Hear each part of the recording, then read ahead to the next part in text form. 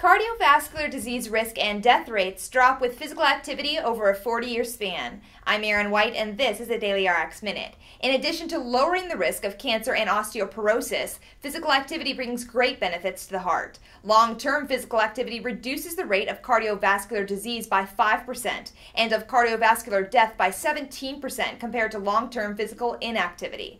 Ask your doctor for tips on how to stay active. For dailyRx TV, I'm Erin White.